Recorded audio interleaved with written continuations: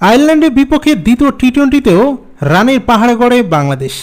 চট্টগ্রামের জহুর আহমেদ চৌধুরী স্টেডিয়ামে বৃষ্টির কারণে সতেরো ওভারে নেমে আসা ম্যাচে তিন উইকেটে দুইশো দুই রান সংগ্রহ করে সাকিব আল হাসানের দল।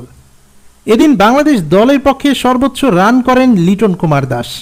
একচল্লিশটি বল খেলে তিরাশি রানে বিধ্বংসী এক ইনিংস খেলেন লিটন। অন্যদিকে অপর ওপেনার রনি তালুকদার করেন তেইশ বলে চুয়াল্লিশ রান।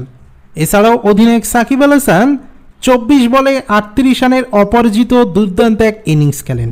অন্যদিকে বৃষ্টিবিঘ্নিত এই ম্যাচে বাংলাদেশের দেওয়া দুইশো তিন রানের এই বিশাল লক্ষ্য তাড়া করতে নেমে ব্যাটিং বিপর্যয়ে পড়ে সফরকারীরা।